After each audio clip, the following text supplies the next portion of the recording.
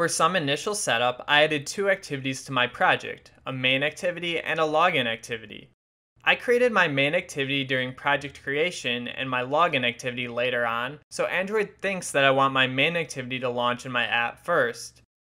For this project, I think it makes more sense to have my login activity display first, so let's go ahead and change that.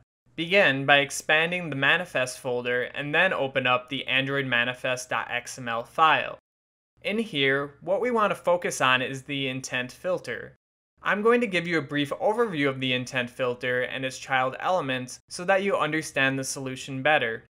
The intent filter does exactly as its name implies. It is used to describe our intents while filtering out other intents that just aren't necessary. Every intent filter must have an action. In this case, we want the intent's action to be set to main so that Android knows that this is the entry point of the application. Category gives more information about the action. We want this set as launcher so that it appears in the Android launcher as a top level application. Now what we want to do is cut the intent filter out of our main activity and paste it inside our login activity.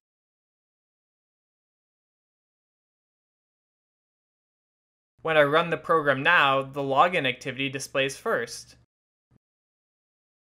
That works great and all, but you may want to reorganize your activities in your Android manifest file to match the order in which they appear in your program. This way, it's easy to find and adjust them if your application ends up having many activities.